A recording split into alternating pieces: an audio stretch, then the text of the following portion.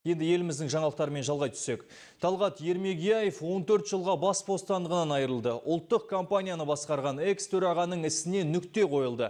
Мемлекеттік айыптаушы ірі жемқорлық істеріне барған үшін Талғат Ермегияевті 14 жылға бас бостандығынан айыруды сұраған болатын.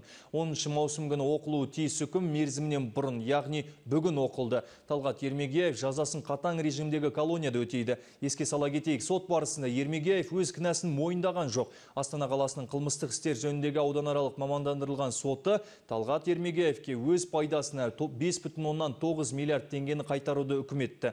Сонымен қатар сот үкімімен Ермегеевтің жеке мүлкі де тәркіленді.